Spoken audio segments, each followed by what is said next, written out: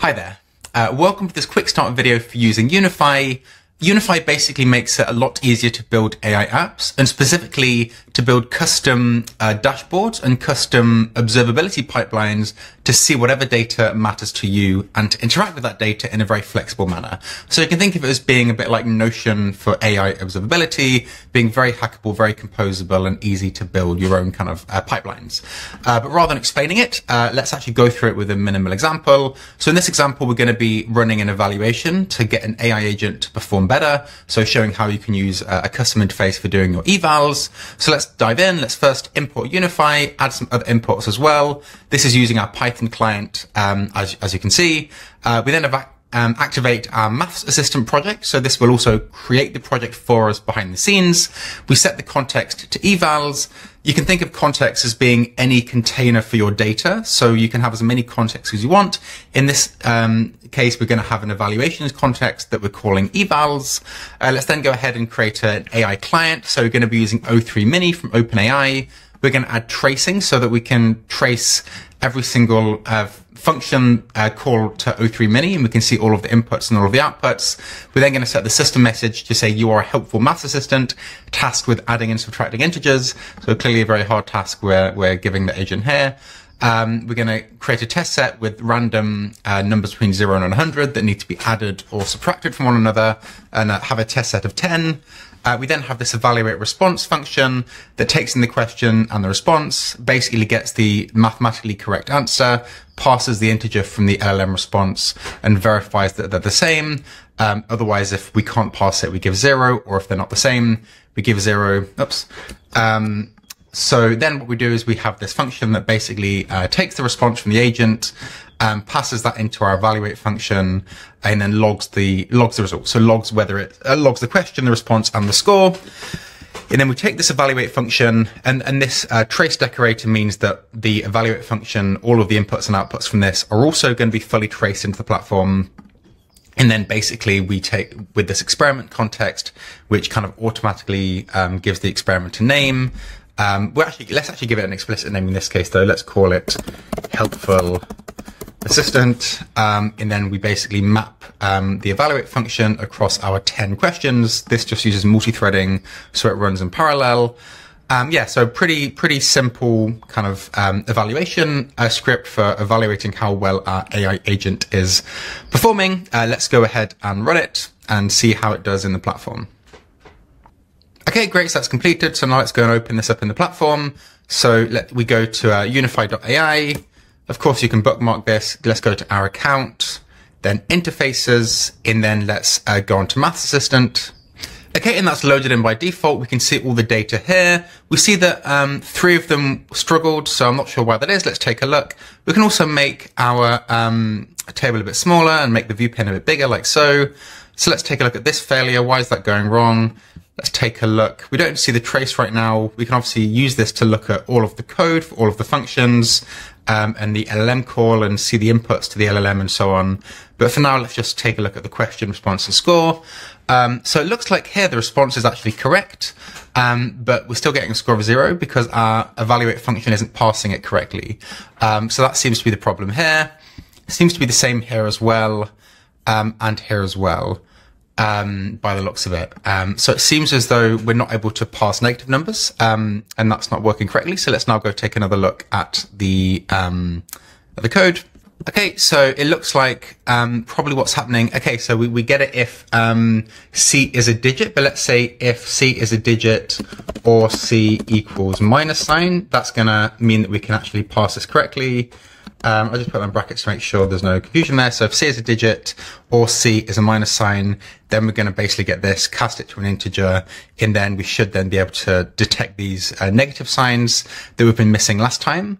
Um, so now let's uh, call this experiment uh, fixed evaluate evaluator, let's say, um, and run this again. Okay, great. So now let's come back to the console. Let's full screen this and let's uh, add in the latest data. Okay, and we can see now it's been, we've got it all working. What we can then do, for example, is group by the experiment. And what we can then see, let's make the table a bit bigger again, just so we can get all of these in. Um, so what we get here is the uh, average score here was 0.7, and then it was 1 in this case. Uh, the green color shows that it's a reduction metric. So in this case, we're getting the mean value. Uh, and then blue means it's a shared value. So actually all of them have the same value in this case, being a score of 1. So we don't need a reduction in this case. It's all the same across all of them. We can then look at the data from one particular experiment by unfolding like so and same for the other experiment too. And this can be useful to get an experiment perspective on what we've run. But let's say that actually we've run many experiments and there's one test case that's very problematic. Well, in that case, we can ungroup by the experiment and then group by the question, for example, like so. And then what we can see is for which questions we got the same result every time across all experiments, which ones we got a difference um, for the different experiments, and also which ones had the same response every single time. In this case, both of them, the agent gave exactly the same response. Uh, so this can be very useful to really just perturb the data in whatever way makes sense. Maybe you want to look at one experiment, or you want to look at one example in your test set, or one particular version of your system prompt across all of the experiments that had that version of the system prompt. And therefore the ability to take any of these columns and put that as the base of your kind of nested representation makes it very easy to answer all kinds of questions about your experiments. So a very simple tour example for now, but hopefully uh, the, the idea comes across. Okay, so we've got our app working perfectly. We have an agent that can add and subtract numbers. Uh, AGI is around the corner. Uh, now let's um, assume that we've deployed this app and we're now testing out different models and providers to try to get the fastest. So this script here just uh, actually synthetically generates that data and then we'll take a look at how we can plot it. But we've just added some um, hypothetical model speeds and provider speeds. We're going to um, add this to our contexts, uh, uh, to our benchmarks context. And now we're just going to go through um, for 25 time steps and add random speed observations that take the model speed, provider speed, and add some noise to it as well. And we just have the model model, the provider, the time, and the speed. So these four items we're logging in a very simple way based on this very simple toy, toy data. So let's go ahead and run that to generate our synthetic data. Okay, that's completed. So let's open up our interface again. Um, so obviously we had the evals that we ran last time. Let's actually go ahead and call this tab evals just so that's nicely organized. Okay, and let's create a new tab and call this new tab uh, benchmarks or just benchmark like so. Okay, and then let's set the context of this to be benchmarks. And then we have the data that we plotted here on the left.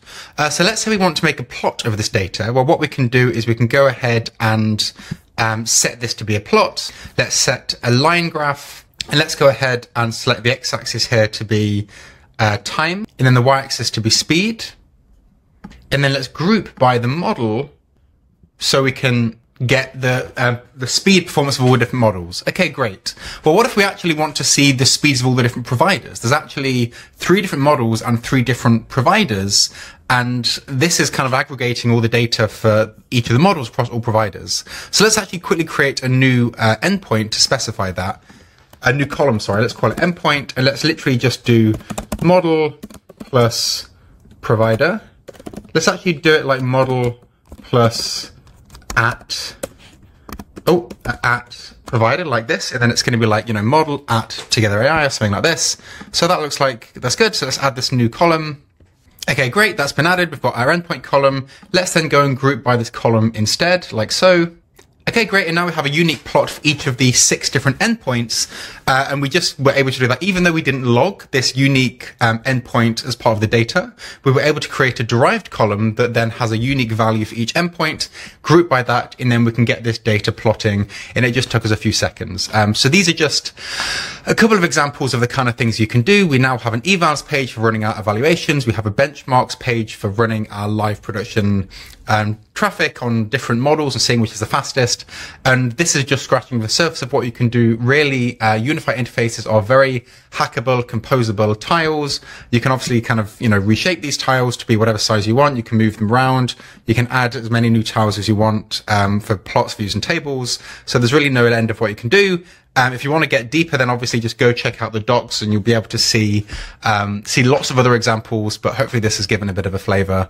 Uh, yeah, thank you very much for watching. I'm really excited to see what everybody does, uh, with this. And, um, yeah, see you in the next video. Thanks a lot. Bye for now.